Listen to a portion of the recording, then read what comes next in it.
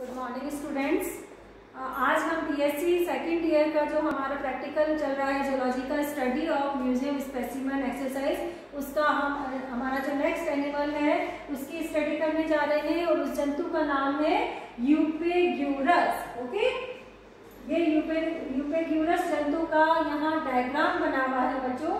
इस जंतु का सबसे पहले हम क्लासिफिकेशन पढ़ लेते हैं क्लासिफिकेशन देख लेते हैं। यूपेग्यूरस भाषा के अंदर कॉमनली हर्मिट क्रैब के नाम से भी जाना जाता है ओके और ये फाइलम आर्थ्रोपोडा का मेंबर है। इसका जो सब फाइलम है दैट इज़ क्रस्टेशिया क्लास जो है, वो जंतु की महिला ऑस्ट्रेका क्लास है। ऑर्डर डेकापोडा ऑर्डर है। और जीनस जो हम पढ़ रहे हैं दैट इज़ यूपे यूरस ओके अब हम बात करते हैं इस जंतु के हैबिट एंड हैबिटेट की और डिस्ट्रीब्यूशन की। तो देखिए, ये जो यूपेग्यूरस जंतु है बच्चों, ये वर्ल्ड वाइड डिस्ट्रीब्यूटेड एनिमल है।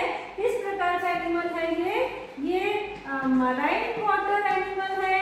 ओके अधिकतर कहाँ पाया जाता है ये एनिमल ये एनिमल जो है, वो हमारे जो सैंडी और मड़ी बॉटम है मराइन हैबिटेट्स के, वहाँ पर ये जंतु पाया जाता है।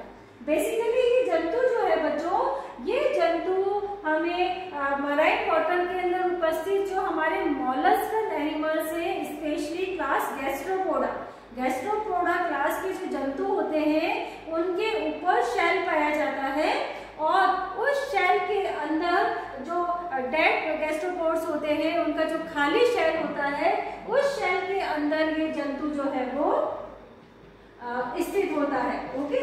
इन मराइन वाटर ये जो ये आपको दिख रहा है गैस्ट्रोपोड शेल है और इस शेल के अंदर जो, इस शेल की जो कॉइलिंग होती है, उस कॉइलिंग के जो कंपार्टमेंट्स होते हैं, उन कंपार्टमेंट्स के अंदर ये बॉडी के अधिकांश भाग जो है अपना, उन कंपार्टमेंट्स के अंदर रखता है और केवल वॉकिंग लेग्स जो है, वो इस अपर्चर जो शेल का अपर्चर है, उसे बाहर निकाले हुए रखता है ओके देखिए ये जो गैस्ट्रोपोड शेल के अंदर हर्मिट क्रैब जो पाया जाता है और इसी शेल के ऊपर हमारा एक सिलेक्टेड जंतु जिसको हम क्या कहते हैं सी एनिमोन वो यहाँ पर ये जो ये चूँकि ससाइल एनिमल होता है वो इसके ऊपर शेल के ऊपर पाया जाता है ओके ये हर्मिट क्रैब और सी एनिमोन दोनों जंतु जो शेल के अंदर और शेल के ऊपर पाए जाते हैं ये दोनों जंतु एक प्रकार का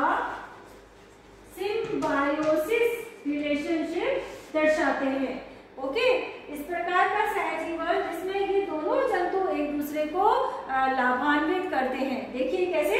देखिए, जंतु जो है हर्मिट क्रैब और ये हर्मिट क्रैब जो है इस शेल के अंदर क्यों रहता है? क्यों? क्योंकि इसका जो एक्जोस्केलेटन होता है ना बच्चों को बहुत ज़्यादा फ्रेजाइल होता है। तो अपनी बॉडी को प्रोटेक्ट करने के लिए ये शेल के अंदर जो है वो स्थित होता है।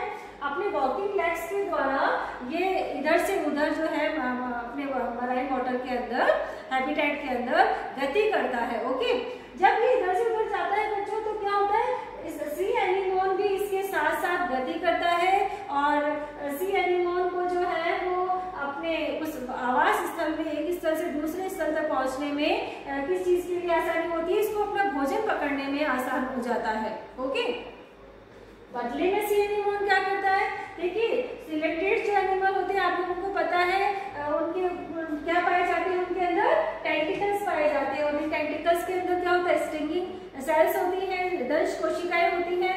तो ये सी एनिमल क्या करता है? अपनी दंश कोशिकाओं के द्वारा जो अपने आसपास होने वाले जो इनके एनिमीज होते हैं, उससे हर्मिट क्रैब की रक्षा करता है। तो इस प्रकार के सिम्बायोटिक रिलेशनशिप इन दोनों जंतुओं के द्वारा किया जाता है ओके वर्ल्ड वाइड डिस्ट्रीब्यूटेड है ये एनिमल ओके अब हम बात करें इस जंतु के जनरल कैरेक्टर्स की, या हम कहें स्ट्रक्चर की।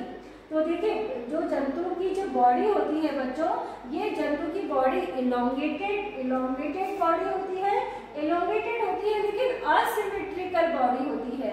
और ये जो हर्मिट क्रैब होता है, इसकी बॉडी काफ़ी रिड्यूस्ड टाइप की बॉडी इसके अंदर पाई जाती है ओके बॉडी जो होती है, वो सिफेलोथोरेक्स और एब्डोमन दो भाग्स की बनी हुई होती है।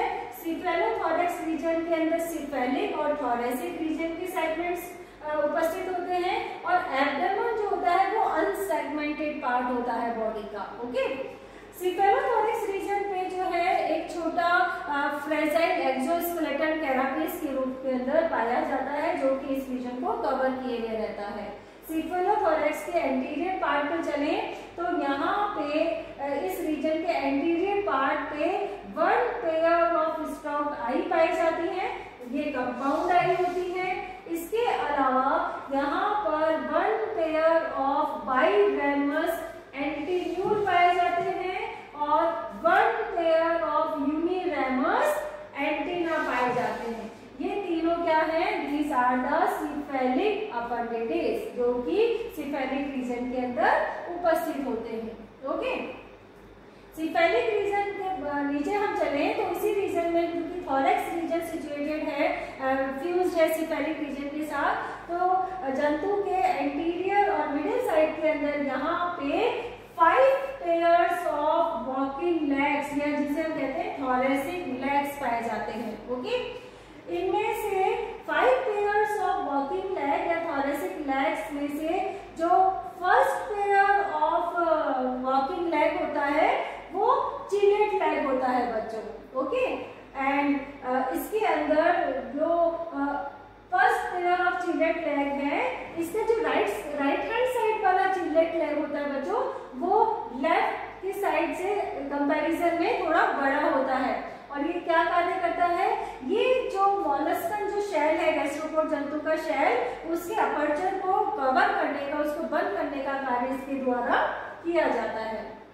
ओके रिमेनिंग जो लैग्स होते हैं, वो नॉन चिलेट लैग होते हैं इसके अंदर और अंतिम दो दो वॉकिंग लैग्स होते हैं, ये रिड्यूस लैग इसके अंदर पाए जाते हैं। ओके देखिए, जंतु जो होता है, वो शेल का अपर्चर फ़र्स्ट चीलेट लैग की सहायता से जो उसका राइट चीलेट लैग है, उसकी सहायता से इस अपर्चर को बंद करता है और जो इसका सेकेंड और थर्ड जो लैग है वॉकिंग लैग है, उसकी सहायता से ये जंतु क्या करता है, इन दो की सहायता से जंतु गति करता है मूवमेंट करता है वॉकिंग करता है।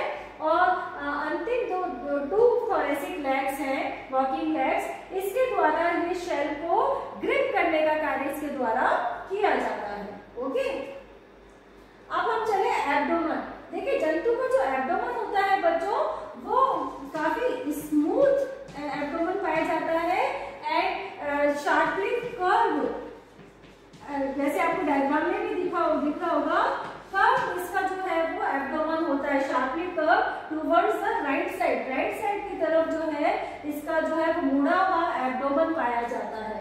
एब्डोमेन पे एक प्रकार की रिड्यूस एब्डोमिनल टर्का एक प्लेट जो रिड्यूस्ड होती है, वो पाई जाती है। एब्डोमेन रीजन पर जो है एब्डोमिनल अपेंडिटिस पाए जाते हैं। ये एब्डोमिनल अपेंडिटिस जो होते हैं, वो काफ़ी रिड्यूस्ड एब्डोमिनल अपेंडिटिस होते हैं। ओके देखिए राइट साइड का जो एब्डोमेन का राइट साइड का पार्ट है, यहाँ पर उपस्थित जो अपेंडिटिस होते हैं, वो डीजनरेट एबसेंट होते हैं डीजनरेटेड होते हैं ओके तो यहाँ नहीं पाए जाते हैं या डीजनरेट होते हैं ये और एब्डोमेन का जो अंतिम पार्ट है, वो क्या बनाता है बच्चों टेंसन बनाता है, और इस टेंसन के दोनों तरफ़ वन पेयर ऑफ़ फ्लॉड यूरोफूड इसके अंदर पाए जाते हैं ओके आर्थ्रोपोड एनिमल है।